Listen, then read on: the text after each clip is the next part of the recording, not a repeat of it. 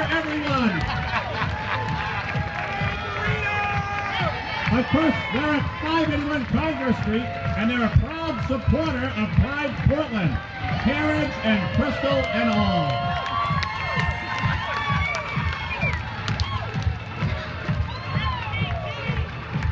By the way, last year they won the best award for the theme float.